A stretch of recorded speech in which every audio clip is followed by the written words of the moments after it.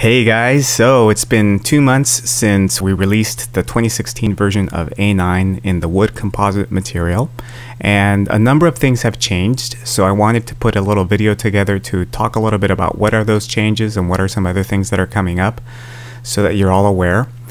Um, what I'm showing here are the two different scales that are coming up. So the, the two guys in the foreground are, are 12 inch biped scale to the 1 6 scale convention. And uh, rider up there, which is riding the horse, is also uh, is going to be coming back, and it's going to look a lot more uh, like the larger bipeds. Uh, essentially, it's going to have all the exact same articulation except for the fingers, but it will have a wrist rotation, which is great. Then there's that big guy in the back, who is one third scale, and uh, these armatures are going to be available as complete sets um, or in individual pieces. Um, but you know the biggest change that you're probably seeing here is the mixture of materials. So one of the things that I learned is that if the wood composite is rubbing against the wood composite, they wear each other out uh, really quickly. And so that's really the, the biggest uh, criticism and comment that I've been getting from customers that have been getting this so far. So you know, randomly I decided to experiment with mixing these two materials together, and it turns out they're a perfect match.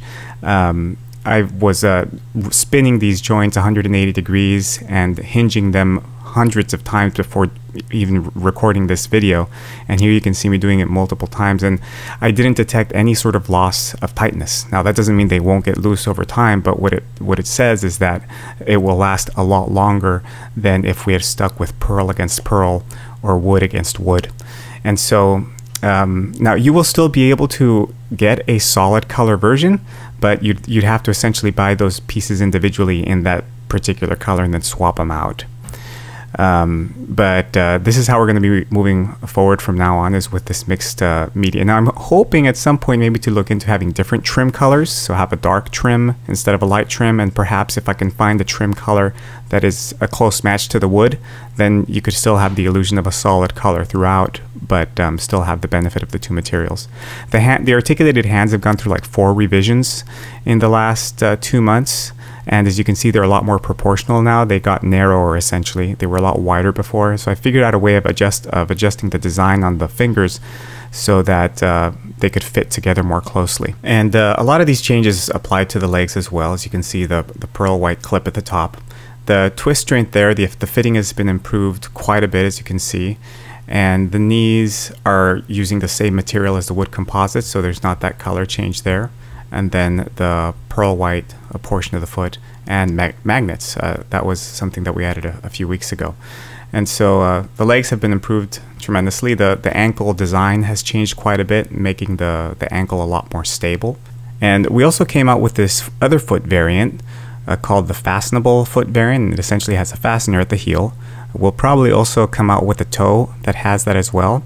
And what's cool is that it's a hole all the way through, so you could mount it any way you want, whether it's through a wire or through a screw, because it is a, a, essentially a threaded fastener. And uh, that gives you a lot of options in terms of how you might want to, how you would prefer to fasten the feet to the ground if you're doing stop motion animation or anything of the sort. Then there were some mi minor cosmetic uh, improvements, like uh, you may recall there was sort of a, an awkward kind of line or scar on the right side of the face that was cleaned up and removed. And then we're revising a number of other parts in our kits and bits, and which impacts the wings, of course, like the dual socketed clip and the triple socketed clip. And uh, as you can see, uh, uh, one of the other benefits of mixing media is how much easier it is to snap these joints into the, the pearl white material. And in case you're wondering what that rig was that I was showing at the beginning, that's the new Hydra crane. And instead of offering the single neck, we have three necks now, or three arms that you can attach, so you can stage really complex uh, scenes. And uh, for the single mounting option, we came out with this new clip tripod essentially. Um, and it's a lot less expensive. It's $25 and it works great. It's a lot more space efficient. You can just clip it onto the side of your desk.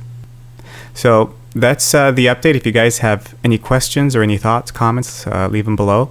Or you can message me at facebook.com forward slash armature9 or send me an email at store at digitaldouble.com.